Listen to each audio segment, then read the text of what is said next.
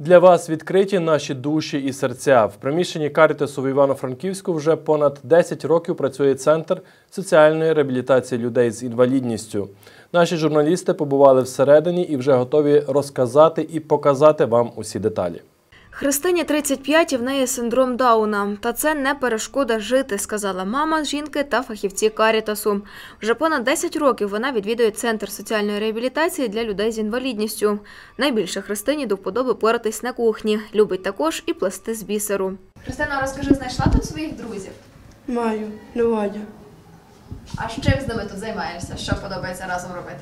І, пи, і пишу, читаю, вічер роблю. Вона в нас є дуже така трудолюбива, так як інших важко заставити щось робити. Христинка сама зголошується на любу роботу. Вона дійсно любить дуже бісер набирати, е, зшивати, так як ми робили тепер великодних зайчиків, вона обшивала. Вирощувати вазони, виготовляти вироби з дерева та паперу, вишивати та шити на машинках, займатися спортом та кулінарією. Все це роблять люди з інвалідністю. Фахівці з реабілітації розповідають, подобається їм робити й декоративні речі. Це розвиває дрібну моторику їхню, розпаяльні кольори, тому що не всі діти ще, ну, наприклад, розмальовуємо розмальовку, то в них може бути качечка голуба. Ну, це розумію, політ фантазії, але все рівно має бути трошки більш діти, щоб не, не закривали це в собі. Вони залучаються до приготування їжі для самих себе.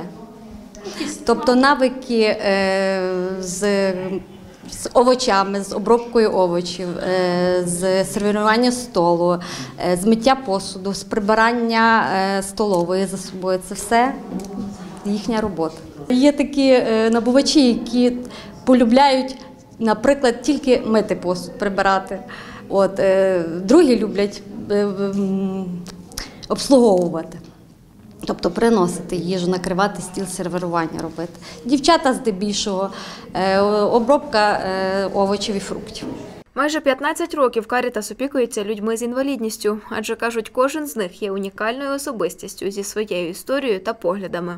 церква, що суспільство дбає про них і дає їм можливість побачити життя кращим, чим вони мають сьогодні, будучи закритими в домівках, будучи ізольованими, відчуваючи ту депресію.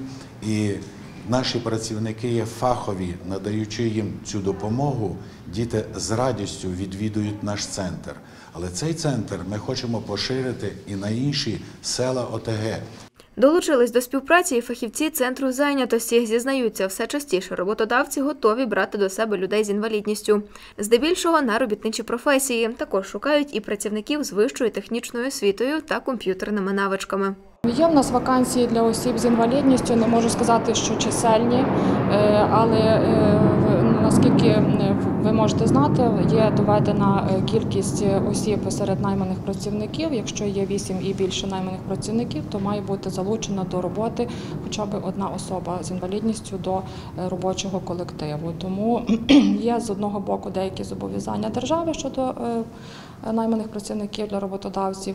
Ну і звісно, е, бажання самого роботодавця е, брати на роботу особу з інвалідністю. Наша основна мета е, роботи з молоддю якраз попередити е, неправильний вибір професії.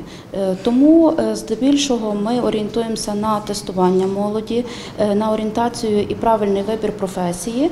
Відтак у Карітасі закликають усіх людей з інвалідністю приходити до центру реабілітації, адже зазначають, колективна робота завжди є позитивною, зокрема у сфері соціалізації.